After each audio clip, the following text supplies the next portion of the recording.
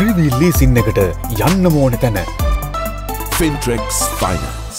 Corona රෝගීන් වාර්තාවුවද සපුගස්කන්ද කනිජතෙල් පිරිපහදුවේ කටයුතුවලට බාධා මතුනුවන බව කනිජතෙල් නීතිගත සංස්ථාව පවසනවා.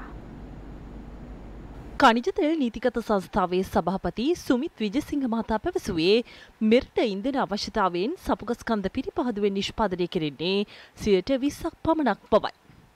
ඉතිරි ඉන්දන තොග පිරිපහදු ලෙස ආනායනය කරන බව සභාපතිවරයා පැවසුවා. වසර තුනකට පමණක් සිදු කෙරෙන තෙල් පිරිපහදුවේ නඩත්තු කටයුතුද පසුගිය පෙබරවාරි 15 වෙනිදා සිට සිදු කෙරුණා.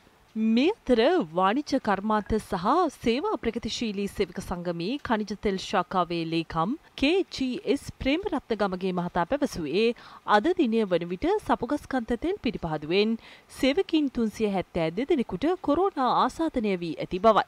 සති දෙකක් ඇතුළත යන්ත්‍රාගාරය පනගැන්වීමෙන් පසු තෙල් පිරිපහදු කටයුතු යළිත් ආරම්භ කෙරෙන බවද ලේකම්වරයා පැවසුවා.